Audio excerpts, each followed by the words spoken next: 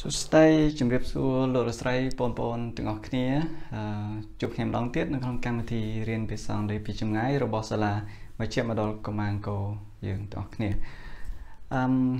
បាទថ្ងៃនេះគឺយើងនឹងមកបញ្ចប់តកតទៅនឹង primary auxiliary verb តកតទៅនឹង common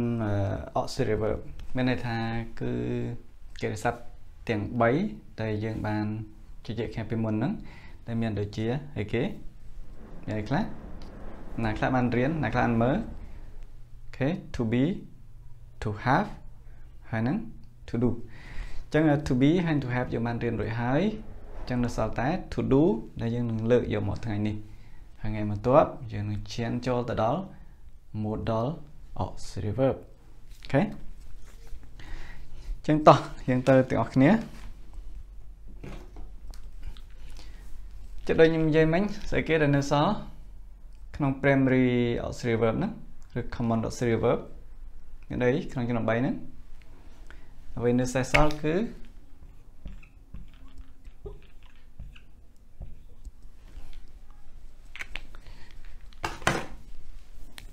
to do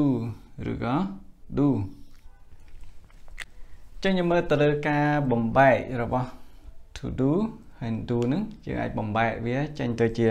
អីខ្លះណាខ្លះអាចប្រាប់បានខេមានទៅជា do ខ្លួនវាផ្ទាល់អីទៀត does អូខេ do does ហើយនឹង did អូខេ ចឹងនេះដើម្បីឲ្យស្របទៅតាមច្បាប់នៃការប្រើជាមួយនឹងប្រធានចឹងកិរិយាស័ព្ទ do ហ្នឹងគឺត្រូវបំបែកបានជា3ហ្នឹងអូខេមួយស្របនឹងប្រធានហើយនឹងកាលអូខេអឺនៅខាងថា subject verb agreement អញ្ចឹងអាហ្នឹងចេះណាចេញមើលតើឥឡូវយើងបានទាំង3នេះហើយចំពោះអា2ហ្នឹង do ហើយនឹង does គឺយើងប្រើនៅក្នុង present simple did គឺយើងប្រើនៅក្នុង past simple អឺសុំទោសមានមួយទៀតគឺ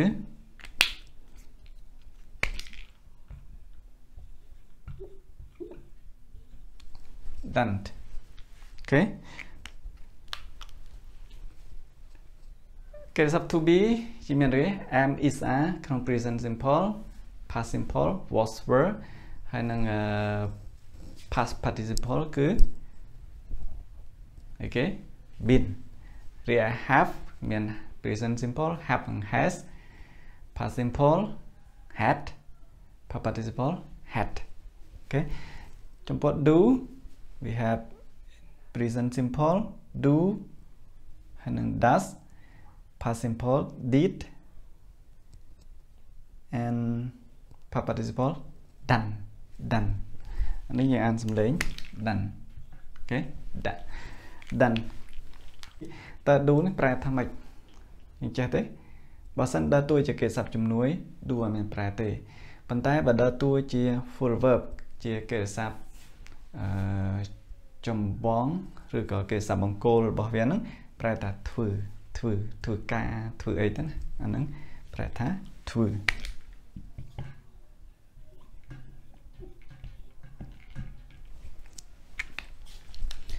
គេយកមើលតម្រងស្រប positive ឬក៏ affirmative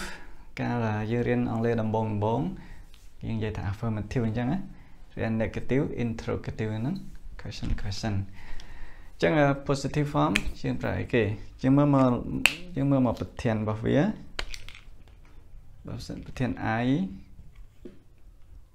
we you they ឬក៏ non ឬក៏ plural non ហ្នឹងគឺយើងប្រើមួយអីគេគឺយើងប្រើជាមួយនឹង do អូ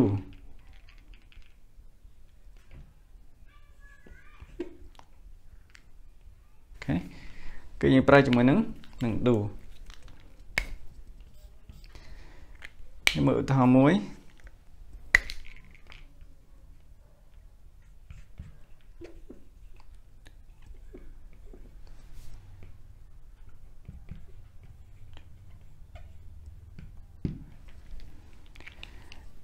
I do my job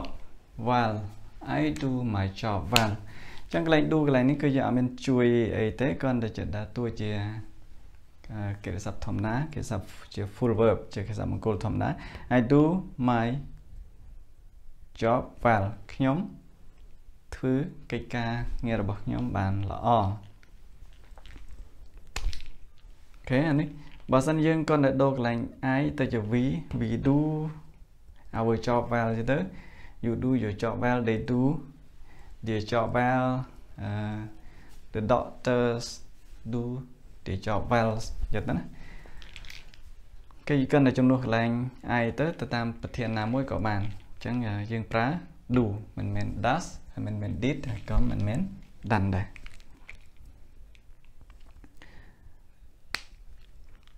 អូខេ subject បន្ទាប់អូខេ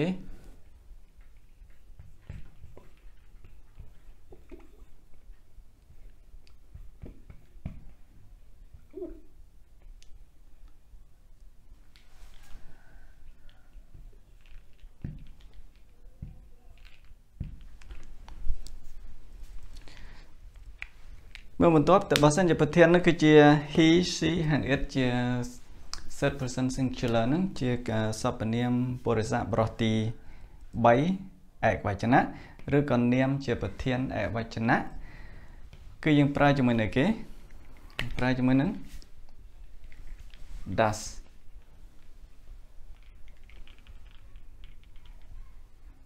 សិនកន្លែងនេះអូខេ ប្រើជាមួយនឹង dash កន្លែងនេះបើសិនជាអ្នកដែលបានធ្លាប់វិញ្ញាពីមុនកាលណាភាគច្រើនដែលគេសំណាដែលបញ្ចប់ឬពាក្យណាដែលបញ្ចប់ដោយ o គឺមុននឹងយើងថែម s គឺយើងត្រូវត្រូវថែម e សិនអញ្ចឹងឧទាហរណ៍ដូចពាក្យ potato potato potato potato បើសិនជាទៅជាពហុវចនៈទៅជាគេ potato potatoes អូខេ potatoes គឺគេថែម e គេគេថែម e ហើយមុននឹងនឹងដាក់ s ចា៎នេះក៏បើសិនយើងគិតទៅលើច្បាប់របស់វាទៅលើ dash នេះមានន័យទៅ do ដោយសារតែវាប្រើជាមួយនឹង he it យើងត្រូវថែម s នៅច្បាប់ទូទៅប៉ុន្តែដោយសារនេះជា do វាចប់ដោយសារ o គេយើងត្រូវថែម e សិនហើយបូកជាមួយនឹង S ចឹងទៅតែនៅគាត់នៅបើកបងចង់តិចទេប៉ុន្តែយល់ល្អយើងគួរតែចំណាំទៅ do ទៅជា does គេ he see it ឬ singular noun គឺប្រើមួយ does ឧទាហរណ៍ he does his job well he does his job well គាត់ធ្វើការងាររបស់គាត់បានល្អគាត់ធ្វើការងាររបស់គាត់បានល្អ he does his job well okay you got it move on it ហ៊ានសរអីសរ did អញ្ចឹងណា did did did គឺស្រួលដូចជាមួយនឹង have ការប្រើរបស់ have ដែរ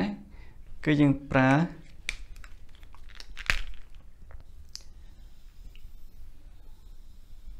សព្វនាមជាសព្វនាមនឹងនាមជាប្រធាននេះហើយនឹងសព្វនាមហើយនឹងនាមជាប្រធានទាំងអស់នេះមានន័យនិយាយរួមគឺទាំងទាំងពីរនេះទាំងអស់ទោះបីជាប្រធានជាស្អីក៏ដោយ គឺយើងប្រើជាមួយនឹង did អញ្ចឹងអានឹងគឺងាយស្រួលហើយ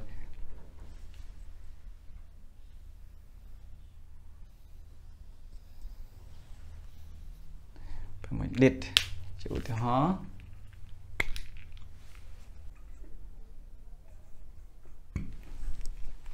អូខេឧទាហរណ៍ the boy did the exercise well អឺកុមារានគាត់បានធ្វើអូខេ did ពេល did ទៅជាអតីតកាលយើងប្រែថាបានធ្វើដោយមានពាក្យបានផងព្រោះខ្មែរយើងនៅពេលអតីតកាល យើងគ្រាន់តែថែមបានទៅអូខេគេសាប់ជំនួយជំនួយកិរិយាបានទៅវាវាកាត់ហើយអញ្ចឹង the boy did the exercise well កុមារាបានធ្វើលំហាត់នឹងកិច្ចការទាំងបានបានល្អអញ្ចឹងគាត់ប៉ុណ្ណឹងគឺចប់ហើយរីឯតាន់អឺនេះគាត់ជាអឺកិរិយាសព្ទងទី3ប៉ុណ្ណឹងអញ្ចឹងឧទាហរណ៍ គេនិយាយកាត់អញ្ចឹងបើសិនជាកាលណាគេទៀមទាឲ្យបើរូបមន្តណាមួយឬកន្លែងណាមួយដែលគេទៀមទាឲ្យមានកិរិយាសព្ទងទី3អញ្ចឹងខ្ទង់ទី3របស់ do គឺ done ឧទាហរណ៍នេះគឺជា present present perfect present perfect យើងមិនមាន subject plus has ឬក៏ have plus verb 3 supplement យ៉ាងទៅអញ្ចឹងកន្លែងនេះយើងយើងធ្វើម៉េចយើង subject has អ oh sorry subject he she អញ្ចឹងយើងប្រើមួយ has បូកមួយ verb 3ហ្នឹងអូខេ v3 ហ្នឹងគឺ done do ឬក៏ does did done អញ្ចឹងយើងប្រើ done កន្លែង okayអឺបណ្ដានេះគឺជាទម្រង់កណ្ឌិកាខ្ញុំបង្ហាញពីការប្រើប្រាស់របស់ do ឯងប៉ុន្តែវាអត់ទាន់ជួយទេអានឹងក៏ជាជាការប្រើប្រាស់របស់កិរិយាសព្ទ to do តែរីឯមុខងារនៃកិរិយាសព្ទជំនួយតិចទៀត ខ្ញុំប្រាប់ថាតើ do អាចជួយបានខ្លះនៅក្នុងប្រយោគអូខេចាំតិចទៀតចាដំបូងនេះគឺយើងត្រូវរៀនឲ្យស្គាល់អំពីតើការប្រើប្រាស់របស់គេសាប់ do យ៉ាងម៉េចសិនចុះយើងមើលមកទម្រង់បដិសេធវិញបាទកន្លែងនេះគឺយើងត្រូវតែចាប់អារម្មណ៍បន្តិចរវាង do ជាគេសាប់ជំនួយទៅនឹង have ហើយនឹង to be ក្នុង have ដល់ពេលយើងទៅជា haven't ប្រែថាអត់មាន I have a car ទៅ I haven't a car I am a teacher I am not a teacher ប៉ុន្តែ do I do my job well យើងមិនអាចនិយាយថា I done my job well ទេអូខេអញ្ចឹងនៅពេលដែល do ដើរតួនៅក្នុងទម្រង់បដិសេធហើយនៅទម្រង់សំណួរ do គឺបើសិនយើងចង់ប្រែវាថាធ្វើគឺវាគ្រាន់ជាកិរិយាសព្ទ full អញ្ចឹងវាត្រូវការជំនួយជំនួយជំនួយអីគេជំនួយ do យកមកជួយចាំន័យថា do កន្លែងនេះគឺគឺយើងអត់អាចបដូរខ្លួនវាតែម្ដងបានទេដោយដោយប្រែថាធ្វើអូខេគឺយើងចំណាំថាវាមិនអាចប្រែថាមិនធ្វើដោយគ្រាន់តែយើងប្រើពាក្យ done តែស្ញៀមទេគឺយើងត្រូវយក do មកជួយខ្លួនវាអញ្ចឹង do កន្លែងត្រូវមានមុខងារពីរមួយជាមុខងារកិរិយាសព្ទធម្មតា ជា main verb ហើយមួយជាកិរិយាសព្ទជំនួយឥឡូវខ្ញុំមកមើលបន្តិច subject ប៉ុន្តែកន្លែងនេះ subject ឲ្យវា agree ជាមួយនឹងកិរិយាទៅណា I we you they នេះគឺយើងប្រើជាមួយនឹងនឹង do អូខេប្រើមួយ do ឬ he she it គឺប្រើមួយនឹងនឹង does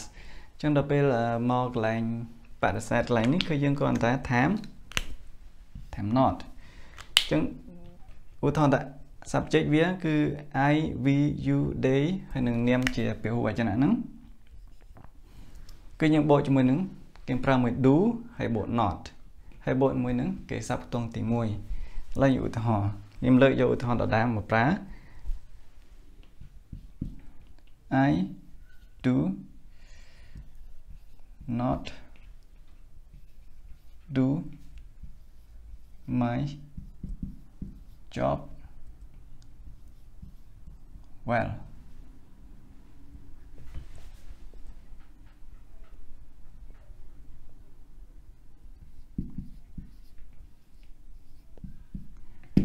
គឺមកឃើញគេគេនឹងតូចតិចចឹង zoom តិច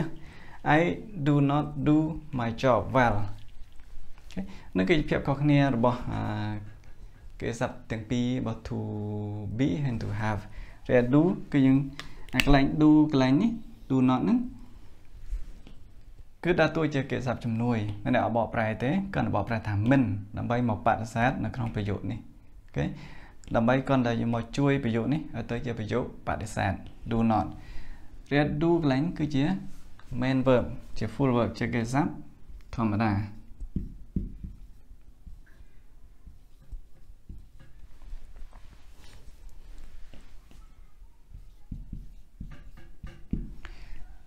គេនេះជាអសិកន្លែងគឺដើរតួជា main verb គឺប្រែថាធ្វើកន្លែងធ្វើ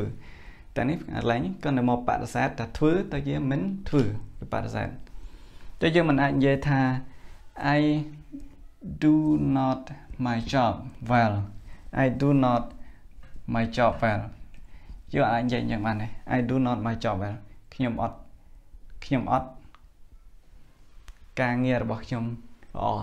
អត់ដឹងថាខ្ញុំអត់អីទេណាកន្លែងចាំបើសិននេះនេះគាត់ទៅប្រែថាអត់ទេអញ្ចឹងយើងត្រូវ I don't I do not do my job well I do not do my job well អញ្ចឹងយើងមើលទៅរូបមន្តប្រធានបូកជាមួយនឹង do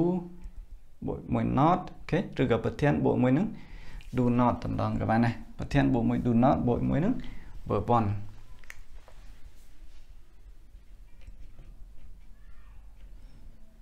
ចឹងសង្ឃឹមតែកន្លែងនេះតអង្គគ្នាទទួលបានទេណាអញ្ចឹងវាវាចាំបាច់គឺត្រូវតែដើរជាមួយនឹងកិរិយាសព្ទបង្គោលដើម្បីឲ្យមានន័យប្រែថាធ្វើឬក៏អូខេហើយតើតោះ do not នេះចុះបើយើងចង់បង្រួមវាតើយើងបង្រួមយ៉ាងម៉េច do not នេះគឺយើងអាចបង្រួមទៅជាគឺធម្មតាទេគឺ do ទៅជា done អូខេ do not ទៅជា done យើងគ្រាន់តែបញ្ចូលពាក្យនេះមកកឹបគ្នាមកអូខេបញ្ចូលវាមកកឹបគ្នាមករួចហើយលុបនេះចោលទៅហើយបន្តទៅលើដាក់ apostrophe ឯកន្លែងនេះទៅអញ្ចឹងមានរូបរាងអញ្ចឹង done I do not do my job well ឬក៏ I don't do my job well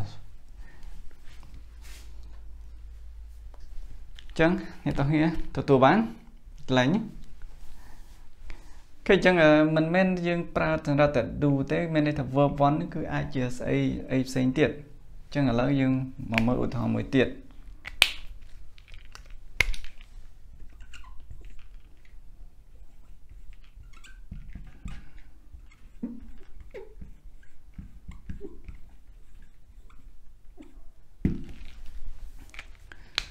មើលមកឧទាហរណ៍មួយទៀត we don't work today អញ្ចឹង we គឺជាគឺជាប្រធាន don't មកពាក្យ do not ហ្នឹងខ្ញុំសេកាត់ឲ្យតែម្ដងទៅ we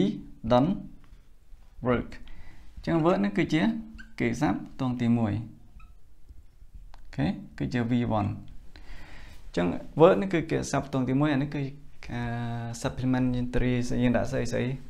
តាមទៅចង់ទៅលើប្រយោគទៅយើង ប៉ុន្តែយើងមើលទៅត្រឹមនេះសំខាន់អូខេ we don't work អញ្ចឹង we work today យើងធ្វើការថ្ងៃនេះប៉ុន្តែដល់ពេលយើងចង់និយាយថាយើងអត់ធ្វើការថ្ងៃនេះយើងប្រើ don't we don't work today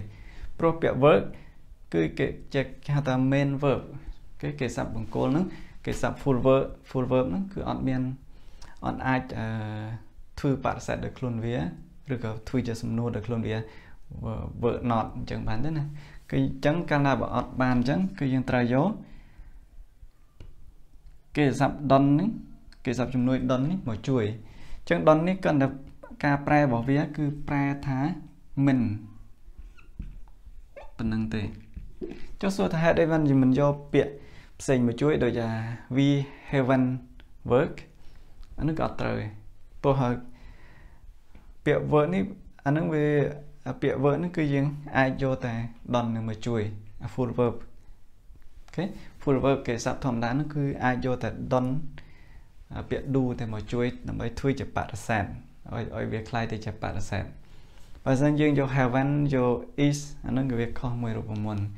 បើ heaven គឺតលតែ verb នេះមាន ed អាហ្នឹងប្រែទៅជាផ្សេងរឿងផ្សេងមួយដែលចម្លែកវាមិនមែននៅក្នុងបច្ចុប្បន្នកាលធម្មតាហើយវាក៏កន្លែង យើងយកមកបដិសេធហ្នឹងក៏វាអត់ប្រែថាមិនដែរប៉ុន្តែបើសិនយើងប្រើ don don នេះគឺប្រែថាមិនមិនអូខេយើងធ្វើការយើងមិនធ្វើការថ្ងៃនេះគេចឹងគឺតែយល់ហើយសួរថា main verb នឹងមានអីខ្លះ main verb ក្រៅពី modal auxiliary verb មាននៅក្រៅពី special verb គឺសុទ្ធតែ main verb ទាំងអស់សម្រាប់ to be ក៏វាមានតួជា main verb ហើយ have ក៏មានជា main verb ដែរហើយ do ដាស់ក៏វាមានមុខងារជា main verb ដូចខ្ញុំបាននិយាយខាងក្នុងប្រយោគនេះអញ្ចឹងអញ្ចឹង do កន្លែងដោយតួជា main verb អូខេ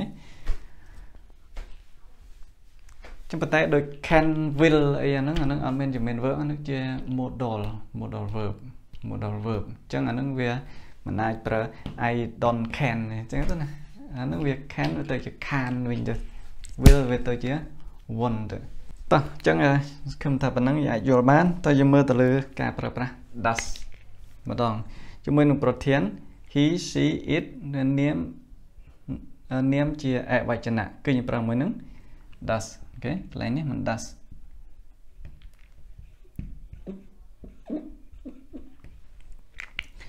ចុះដល់ពេល he she it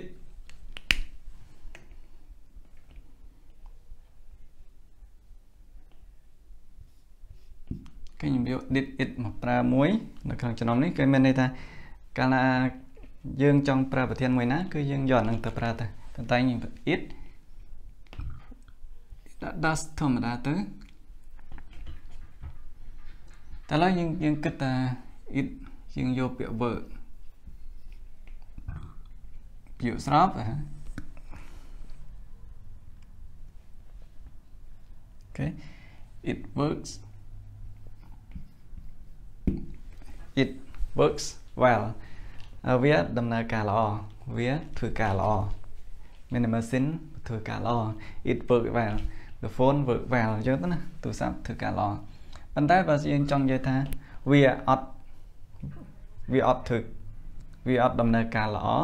យើងយើងដាក់ដល់ម៉េចជំនិនឬក៏អត់ឡើងណានិយាយរកពាក្យបដិសេធ it ក្នុងច្បាប់ខាងនេះ it ប្រើមួយគេ he's in គេប្រើមួយហ្នឹង does ចានេះយើងត្រូវប្រើមួយហ្នឹង does ដូចគ្នា it does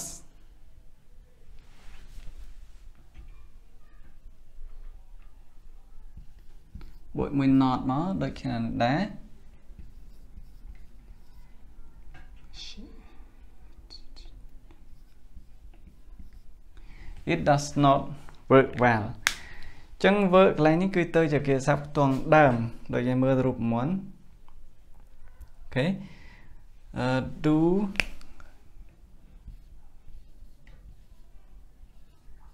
does did បូកមួយ not ទៅណាចឹងនេះ it does not work well ចឹងនេះគឺទៅផ្ទាំងទីទី1វិញ verb 1កាលណាតងទី1គឺទៅបីមានស្អីក៏ដោយកន្លែងណាក៏ដោយគឺលុបទាំងអស់គឺយើងយកតាដើមវាអា verb 1ហ្នឹងអញ្ចឹង it ជាប្រធាន does បូក not ទៅជាអត់ឬក៏មិន verb ធ្វើការ well it does it does not work well តម្រងខ្លីរបស់ does not គឺ does មកយើងទាញគ្នាកើបលុប o ចោលដាក់ t អូខេ it doesn't អានថា doesn't it doesn't work well it does not work well it doesn't work well វាមិនដំណើរការល្អទេ it doesn't work well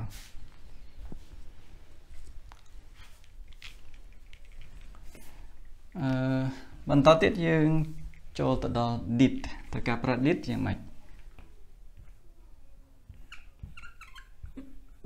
they did បូកមួយនឹង not ដូចគ្នា work well okay they did they did not work well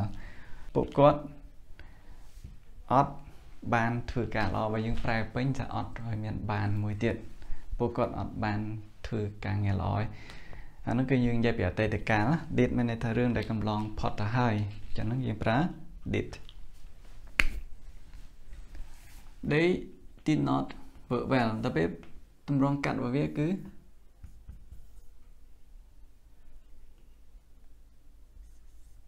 អូខេ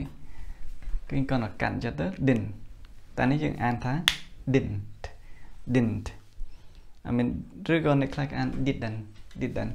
តែបើ didn't វានៅតែសូរសំឡេងពីរដដែលអញ្ចឹងភាគច្រើនគេអានថា didn't they didn't work well they didn't work well ឬក៏ they did not work well ឬក៏ they didn't work well ឃើញអញ្ចឹងអឺ កន្លែងនេះយើងយើងយល់មើលទៅតាមទម្រង់វាគឺមាន ប្រធានបូកជាមួយនឹង did not អូខេ did did នេះបូកជាមួយនឹង not បូកជាមួយនឹង verb 1អញ្ចឹងប្រធានបូកជាមួយនឹង did not verb 1ឲ្យតែ verb 1ទោះបីជាកន្លែងគឺយើងក្នុងបច្ចុប្បន្នកាលថា they worked well they worked well they worked well ពួកគាត់បានធ្វើការល្អប៉ុន្តែដល់ពេលយើងទៅបរិស័ទ they didn't work well ចឹង verb 1គឺទោះបីនេះពីមុននៅជាអីបើឲ្យកែប្រែតម្រង់ទៅជាអតីតកាលក្នុងប្រយោគបដិសេធហ្នឹងគឺយើងត្រូវតែបន្លាយអានេះទៅជាអាដើមវិញយកអាដើមមកប្រើវិញអញ្ចឹង work ធម្មតាអតីតកាលគឺមាន ed អញ្ចឹង worked អញ្ចឹងដល់ពេលបច្ចុប្បន្ន ដល់ពេលជា verb 1របស់វាវិញទម្រង់ដើមរបស់វាវិញគឺ work work W O R K អូខេហើយអឺគឺអានឹងគឺទាំង negative គឺយើងមានតែ3ទេដើម្បីយកមកជួយ គឺយើងជួយបង្កើតជាប្រយោគបរិសេធអញ្ចឹងកន្លែង do do កន្លែងគឺជាវាមានមុខងាររបស់វាយកមកជួយកិច្ចស័ព្ទ ធម្មតាគេស័ព្ទអឺបង្គោលនឹងឲ្យវាទៅជានៃបដិសេធនៅក្នុងប្រយោគនឹងអញ្ចឹងដើម្បីជួយគឺមាន តាមទម្រង់ប៉ុណ្ណឹងមានតែ do does ហើយនឹង did ទេដែលបូកជាមួយនឹង not ទៅជាប្រយោគបដិសេធហើយបូកជាមួយនឹងគេស័ព្ទដើមហើយទី done យើងគេខ្ញុំឧទាហរណ៍ក្រៅទេគឺអត់មានពាក្យពន្ធយកមកជួយបដិសេធអីទេអាហ្នឹងណាចឹងទម្រង់បដិសេធគឺមានតែ មានតែប៉ុណ្្នឹងយល់ទេសុំស្វែងតិចអត់យល់អត់យល់សួរបានណាឡើយមកបន្តទៀតគឺយើងរៀនអំពីទម្រង់សំណួរវិញទម្រង់សំណួរក្នុងភាសាអង់គ្លេសគឺយើងដឹងថាគេសាប់អឺជំនួយគេសាប់ពិសេសហ្នឹងគឺវាតែងតែស្ថិតនៅខាងដើមអញ្ចឹងអាហ្នឹងគេសាប់ do ហើយ does did ហ្នឹងក៏អត់ដូច អត់ខុសគ្នាដែរគឺកាន់តែនិយាយយក do does did ហ្នឹង plus subject plus verb 1ត្រង់វាគឺដូចនេះគឺមានតែ do ឬក៏ does ឬក៏ did ហ្នឹងបូកជាមួយនឹងប្រធានបូកជាមួយនឹងកិរិយាសព្ទខ្ទង់ទី1អានឹងដើម្បីបង្កើតជា ប្រយោគសំណួរចេញមើលជាឧទាហរណ៍ប្រធាននៅដដែល I V U day នេះគឺយើងប្រើជាមួយនឹងនឹងអីប្រើជាមួយនឹង do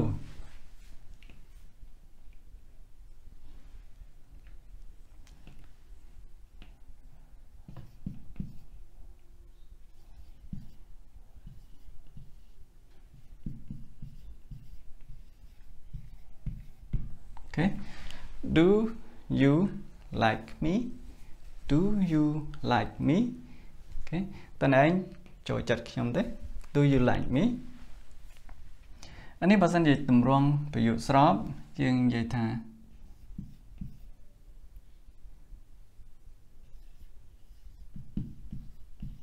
you like okay you like me អ្នកឯងចូលចិត្តខ្ញុំ អ្នកចូលចិត្តខ្ញុំអូនឯងចូលចិត្តខ្ញុំចឹងទៅណា you like me ចុះដល់ពេលយើងតម្រង់សំណួរវិញគឺយើងយកឲ្យមកជួយ គឺយើងត្រូវយក do ពីព្រោះ like នេះគឺអត់មានសមត្ថភាពនៅក្នុងការបដូររូបបដូរទីតាំងរបស់ខ្លួនមកនៅខាងដើមនេះដើម្បីបង្កើតប្រយោគសំណួរដោយ auxiliary verb ទេអូខេប៉ុណ្្នឹងគឺជាកិច្ចសព្ទធម្មតាអញ្ចឹងនៅកាលណាអញ្ចឹងដើម្បីបង្កើតសំណួរ ដោយមានន័យនៅដដែលអឺអ្នកឯងចូលចិត្តខ្ញុំចុះបើយើងចង់សួរថាតើអ្នកឯងចូលចិត្តខ្ញុំទេយើងយើងយើងធ្វើម៉េចគឺយើងយក do មកមកជួយ do you like me អូខេ question mark do you like me តើឯងចូលចិត្តខ្ញុំទេអូខេយល់ទេ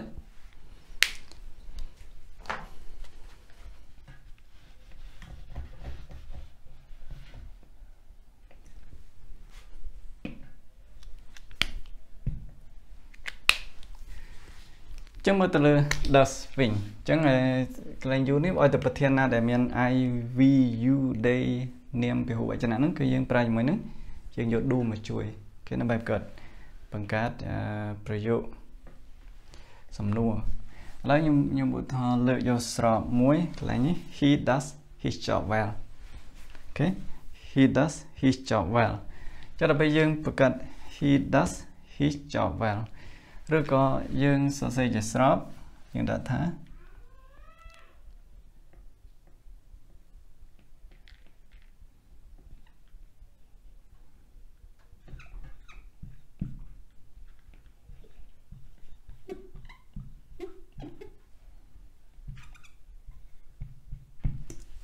he works well he work well យើងដឹងហើយប្រហែលជាដឹង តែការប្រើកិរិយាសព្ទធម្មតានៅក្នុងបច្ចុប្បន្នកាលធម្មតាជាមួយនឹងប្រធានដែលជាសព្វនាមបរិស័ទរស់ទី3អវចនៈគឺយើងត្រូវថែម s ឬក៏ es មិនអញ្ចឹងប៉ុន្តែអញ្ចឹងកន្លែងនេះបានខ្ញុំថែម s he works well ចុះបើយើងចង់សួរសំណួរវិញថាតើតើគាត់តើគាត់ ធ្វើការល្អឯងតែយើងសួរមិនគឺយើងត្រូវយក does មកជួយព្រោះ does វាប្រើជាមួយនឹង he មិនអញ្ចឹង does he see it នេះគឺយើងប្រើជាមួយនឹងនឹង does អញ្ចឹងយើង does នេះយើងអានថា does does អូខេ does does do es does he សរសធំទៀតទេអត់ទេណាអូខេ subject he he កាលណាបើនៅបន្ទាប់អញ្ចឹងយើងហេតុទៅយកសតទៅវិញ does he work work មានដែរហើយកន្លែងអូខេ verb 1 verb 1គឺអត់មានដែរទេ does he work well យកសំណួរ does he work well អញ្ចឹងតើគាត់ធ្វើការល្អទេអូខេ does he work well តើគាត់ធ្វើការល្អអញ្ចឹងមើលទៅរូបមន្តហ្នឹងចឹងអតិថិប្រធានកន្លែងនេះយើងមើលទៅឲ្យតែ he she it ឬក៏នាមអវចនៈឧទាហរណ៍ does this boy work well okay does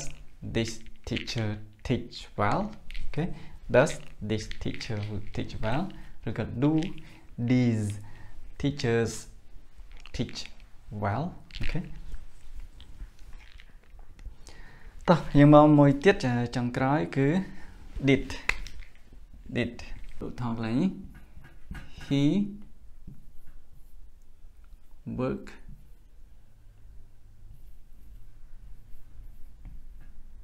he work well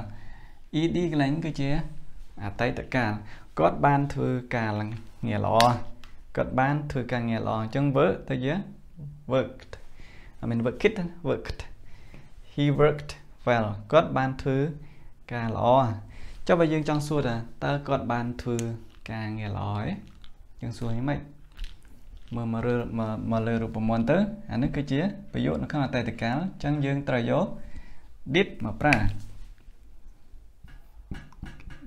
did អូខេ did ហើយឯគេ subject he ឯគេទៀត verb 1 work អូខេអត់មាន ed ទៀតទេគឺទៅយក verb 1 did he work well did he work well did he work well he worked well did he work well តើគាត់បានធ្វើការងារល្អទេអញ្ ចឹងតកតទៅនឹងប្រធានកន្លែងនេះគឺទាំងអស់ប្រធានស្អីក៏ដោយគឺយើងប្រើជាមួយនឹង did ចឹងនៅក្នុងទម្រង់អតីតកាលស្រួលយើងគ្រាន់តែយក did មកប្រើទៅបានមួយទៀតចឹងនេះគឺជាប្រយោគសំណួរបែបបែបអីប្រយោគសំណួរបែបស្របចឹងតើប្រយោគសំណួរបែប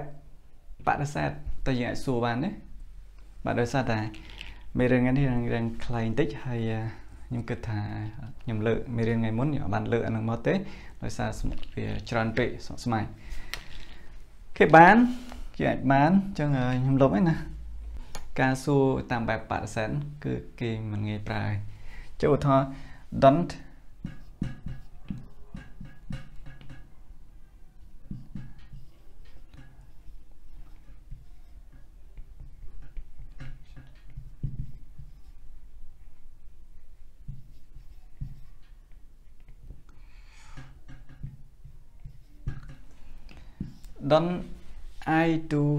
do my job well don't I do my job well okay don't I do my job well ឬក៏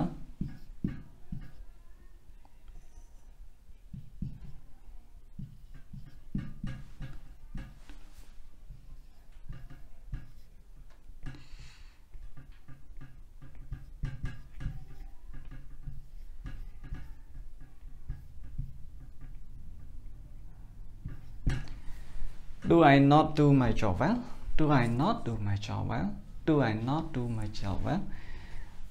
អត់មែនណា do not I do my job well ទេណាបើសិនយើង say ជាទម្រង់វែង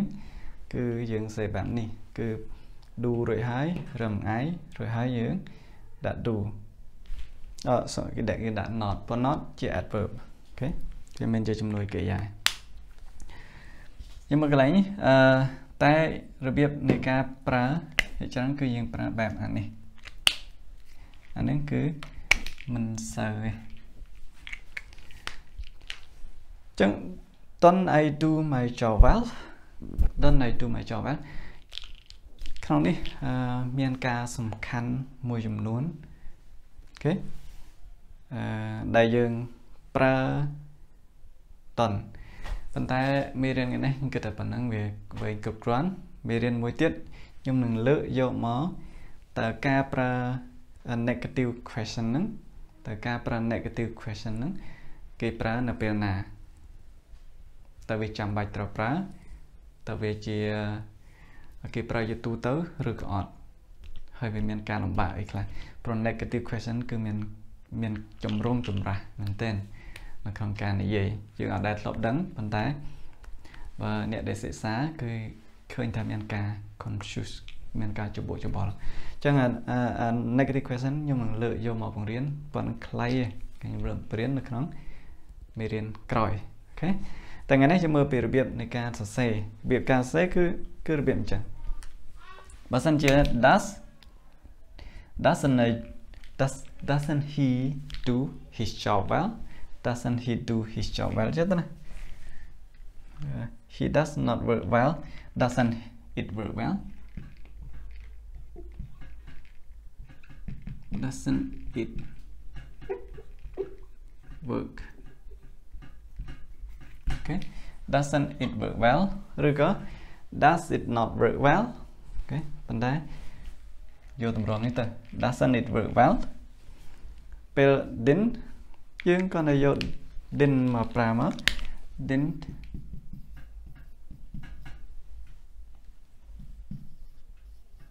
didn't they work okay didn't they work well ចឹងវាដូចតែគ្នាទេនៅខាងការធ្វើប្រយោគ សំសំណួរបែបបដិសេធហ្នឹងគឺយើងគាត់តែយកទម្រង់បដិសេធវាមកប្រើមក do ទៅ don't does ទៅ doesn't did ទៅ didn't អូខេបូកជាមួយនឹង subject បូកជាមួយនឹង verb verb 1ធម្មតាតែបើសិនយើងប្រើជាទម្រង់សម្រាយដែលខ្ញុំថាគេមិនសូវនិយមប្រើហ្នឹងយើងគ្រាន់តែប្រើ do does did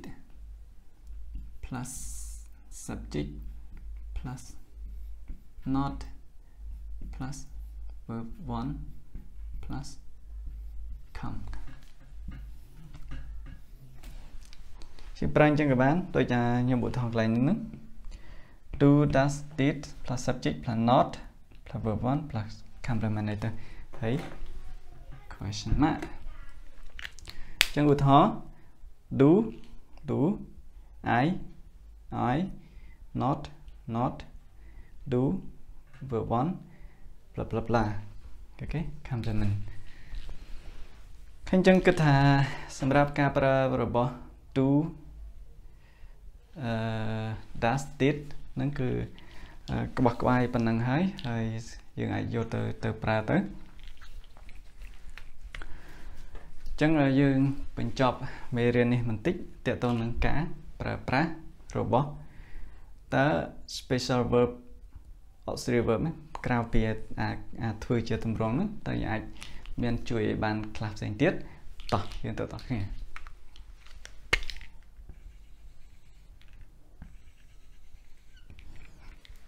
key usage ទៅតងការប្រើប្រាស់ទៅតងការប្រើប្រាស់គឺវាមានអីវាអាចនឹង ដំបូងគឺប្រហាក់ប្រហែលជាមួយនឹង have ដែរគឺយើងធ្វើអី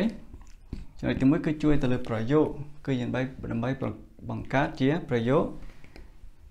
បដិសេធ negative and question sentences ឃើញគឺវាជួយបង្កើតប្រយោគ បែបសំណួរហើយនិងប្រយោគបដិសេធដែលយើងបានរៀន2កន្លងខាងនេះមិញណាប្រយោគសំណួរបដិសេធគឺមានច្រើនអញ្ចឹងទី2តើវាអាចក្រៅពីជួយបង្កើតប្រយោគសំណួរហើយនិងប្រយោគបដិសេធតើ do does did នឹងវាអាចជួយឲ្យបានទៀតគេទី2 do does did នេះគឺវាអាចជួយបញ្ជាក់បន្ថែមបញ្ជាក់បន្ថែម អង់គ្លេសថា emphatic to emphatic do ឬក៏ em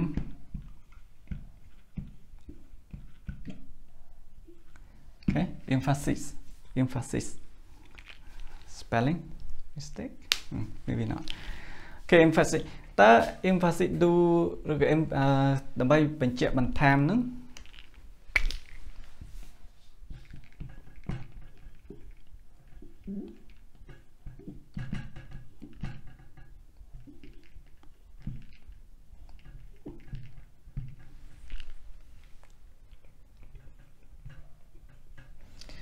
គេមកជាបន្ថែមន័យហ្នឹងតើវាវា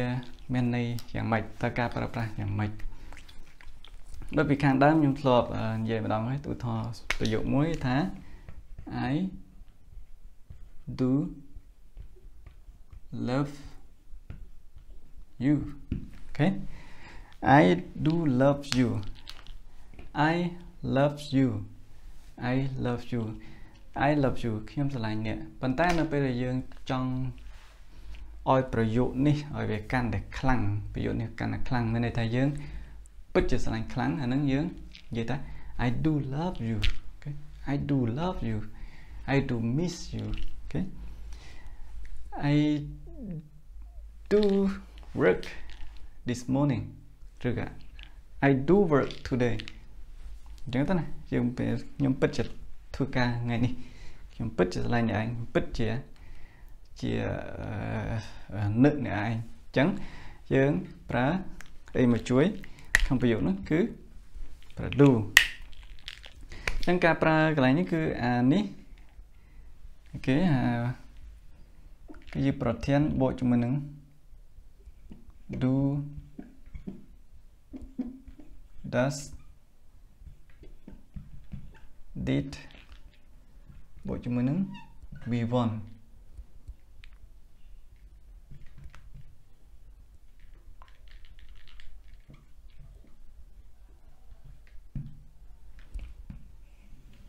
គេបើយើងមើលទៅលើរូបមន្តអញ្ចឹងប្រធានបូកជាមួយនឹង do does ឬក៏ did ហ្នឹងបូកជាមួយនឹងគេសាប់ខ្ទង់ទី1បូកជាមួយនឹង supplement វាទៅចឹងនេះបើ I គឺខ្ញុំប្រើមួយគេប្រើមួយ do ហើយ love នេះគឺនៅតែគេសាប់ខ្ទង់ទី1របស់វាចុះដល់ពេល he see it វិញអានេះ I U V day ទៅណា he see it he ប្រើមួយ do ឬអីគេបើសិនយើងនិយាយធម្មតាថា he love you okay he loves you he loves you he loves you គាត់ស្រឡាញ់នេះគាត់ស្រឡាញ់នេះ he loves you very much អញ្ចឹងណាប៉ុន្តែបើយើងជំនួសឲ្យ very much យើងអាចនិយាយថា he អូខេមករូបមន្តនោះ does does love love កន្លែងនេះមិនគេថា verb 1អញ្ចឹងជា verb 1អត់មាន s ទេទៅ s ទៅ he does love you okay he does love you he does love you គាត់ពិតជាស្រឡាញ់ណាហើយ did អូខេ he it ដឹកគ្នាទៅពេល អតីតកាលឧទាហរណ៍ថា they okay they worked hard last year ពួកគាត់បានធ្វើការងារលំបាកណាពីឆ្នាំមុនអញ្ចឹងនោះគឺជាប្រយោគអតីតកាលអញ្ចឹងគឺយើងដោយមានឃើញ ed នៅកន្លែងនេះអូខេ they worked hard last year ចុះដល់ពេលយើងចង់ emphasis អូខេ emphasis to emphasize បើយើងចង់បន្ថែមកម្លាំងទៅលើប្រយោគមួយនេះឲ្យវាកាន់តែខ្លាំងមានន័យថាគាត់ពិតជាធ្វើការខ្លាំងមែនពីឆ្នាំមុនគាត់ពិតជាធ្វើការខ្លាំងគាត់ពិតជាធ្វើការតែយើងនិយាយនិយាយថាម៉េច day នេះជាប្រយោគអតីតកាលអញ្ចឹង they did okay did verb 1 ចឹងយើងត្រូវលុប ed នៅខាងនេះចោលអូខេលុបនេះចោលដើម្បីឲ្យនេះឲ្យ verb នេះទៅជា verb 1 they did work hard last year they did work hard last year they did work hard last year នេះយើងបញ្ជាក់ថាពួកគាត់ពិតជាធ្វើការដ៏លំបាកមែនពីឆ្នាំមុនអូខេចុះយើងប្រើ a do does នឹងមកជួយប៉ុន្តែនៅក្នុងអតីតកាលគឺទៅជា did មកជួយ ឃើញអញ្ចឹងខ្ញុំកាត់កាត់កាត់កាត់ហ្នឹងចិត្ត1ម៉ោងដែរដូចជាច្រើនអញ្ចឹងការប្រើប្រាស់របស់ do ដើម្បីជួយធ្វើនៅក្នុងប្រយោគហ្នឹងគឺវាមានប៉ុណ្ណឹងដែលខ្ញុំលើកយកមកហើយវាអាចនឹងមានច្រើនជាងនេះតែខ្ញុំអត់ចង់លើកយកមកច្រើនពេកខ្លាចវាត្រឡប់ទៅលេងទៅវិញអញ្ចឹងចេះតែពីប៉ុណ្ណឹងយើងគិតថាគ្រប់គ្រាន់ហើយអញ្ចឹងជួយបង្កើតកិច្ចសព្ទធម្មតាឲ្យទៅជា negative ហើយនឹង question ហើយជួយបង្កើតជំរុញពង្រឹងប្រយោគធម្មតានឹងឲ្យវាទៅជាប្រយោគដែលមានកម្លាំងអញ្ចឹងជាអាច produce does ហើយនឹង did ហ្នឹងទៅជួយកិរិយាសព្ទហ្នឹងអូខេ love love love work គឺគឺវាមានកម្លាំងទៅលើអាអាកិរិយាសព្ទកិរិយាសព្ទ main verb នេះកិរិយាសព្ទដើមនេះអញ្ចឹងសូមអរគុណអញ្ចឹងយើងបានបញ្ចប់ហើយ primary auxiliary verb គឺមានត្រឹមតែប៉ុណ្្នឹងសង្ឃឹមថាបងប្អូនបានយល់ច្បាស់អំពីអ្វីទៅជា primary auxiliary verb មេរៀនក្រោយយើងនឹងរៀនអំពី modal auxiliary verb ដែលមានចំនួនដល់ទៅ12ឬក៏10ជាង10ចុះអូខេអរគុណសម្រាប់ការតាមដានអញ្ចឹងឈ្នះឈ្នះបងប្អូន ឆ្លងផុតសម័យកាលដ៏លំបាកនេះ Good luck